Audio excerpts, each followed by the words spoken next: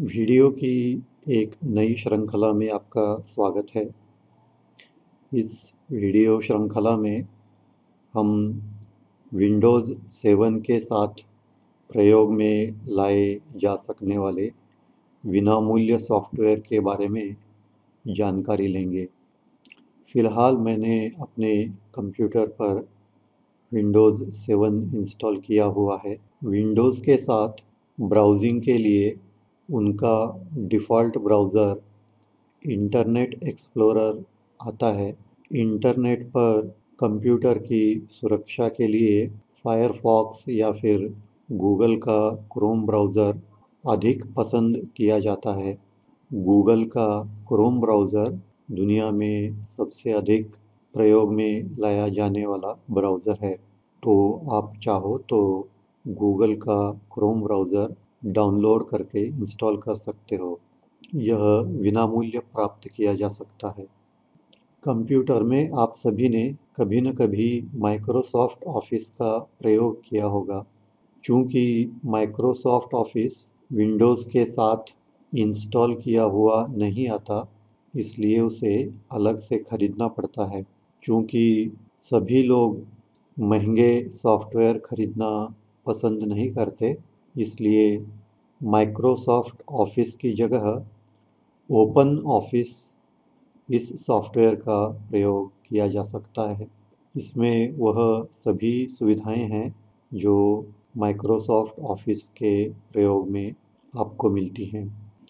आप अपने कंप्यूटर पर तरह तरह के वीडियो, सीडी या फिर डीवीडी आदि चलाते होंगे। कई बार आपने यह देखा होगा कि कोई डीवीडी विंडो के मीडिया प्लेयर पर नहीं चलती। विंडोज़ मीडिया प्लेयर यह माइक्रोसॉफ्ट का डिफ़ॉल्ट मीडिया प्लेयर है।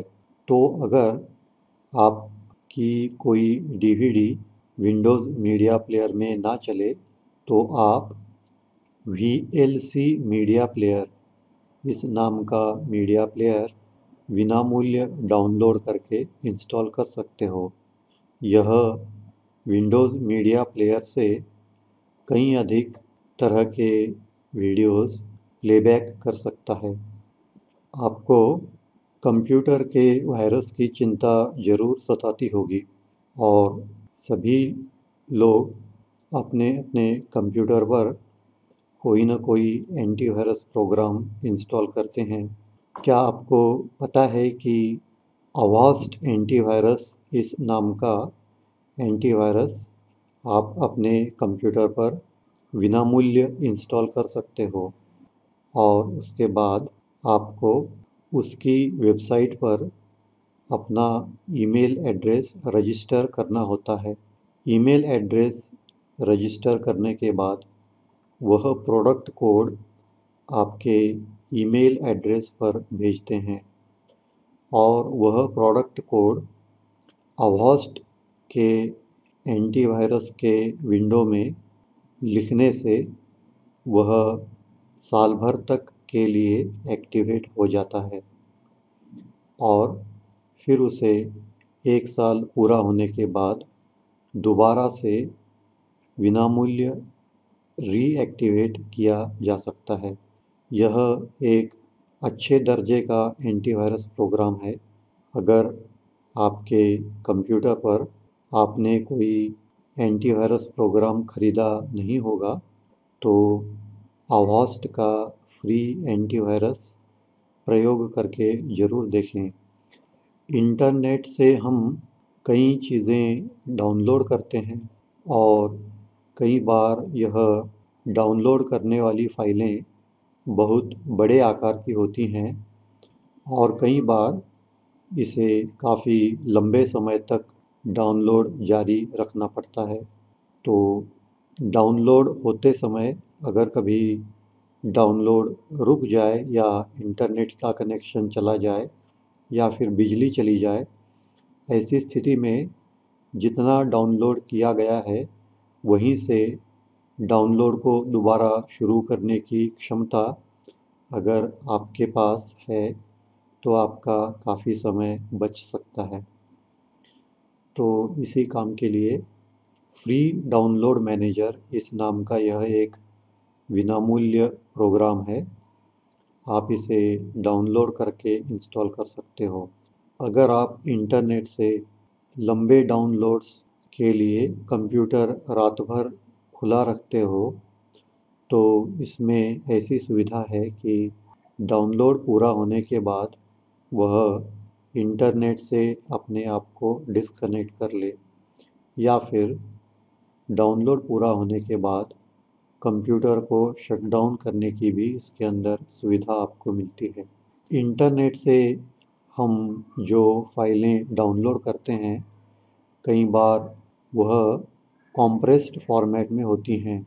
यह कॉम्प्रेस्ड फाइलें जिन्हें हम अक्सर झिप फाइलें कहते हैं विंडोज़ के अंदर उन्हें खोलने की क्षमता है।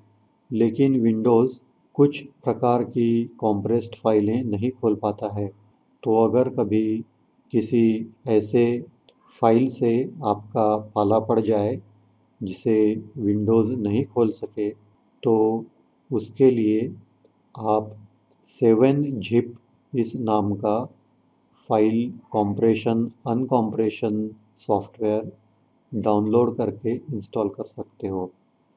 यह न केवल कॉम्प्रेस्ड फाइलें खोलता है, बल्कि यह आपकी फ़ाइलों को कॉम्प्रेस भी कर सकता है। हमारे प्रतिदिन के कंप्यूटर के उपयोग करते समय कंप्यूटर में कई टेम्पररी फाइलें बनती हैं।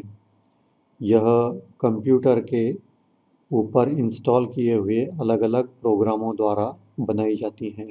यह टेम्पररी फाइलें आपके हार्ड डिस्क में काफ़ी जगह घेर लेती हैं। तो बीच बीच में इन टेम्पररी फ़ाइलों को हटाना ज़रूरी होता है। इसके लिए विंडोज़ के अंदर भी टेम्पररी फ़ाइलें हटाने की सुविधा मौजूद होती है और साथ ही ब्राउज़र के भीतर भी ब्राउज़र के कैश के नाम से जमा हुई फ़ाइलें हटाने की व्यवस्था होती है। लेकिन ज़्यादातर हम इस चीज़ के प्रति उतने जागरूक नहीं होते। इस कारण से बड़ी मात्रा में टेम्पररी फाइलें आपके कंप्यूटर में जमा होती हैं। सी क्लीनर यह एक विनामूल्य प्रोग्राम है।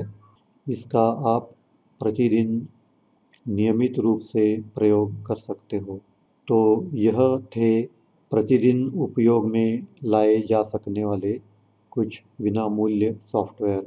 अगले वीडियो में हम कुछ और सॉफ्टवेयर के बारे में जानेंगे और साथ ही इन सभी सॉफ्टवेयर्स को कैसे डाउनलोड करें और कैसे इंस्टॉल करें और फिर इन सॉफ्टवेयर्स में किन किन तरह की सुविधाएँ मौजूद हैं, यह भी हम इसके आगे के वीडियो में जानेंगे। तो आज हम यहीं रुकते हैं।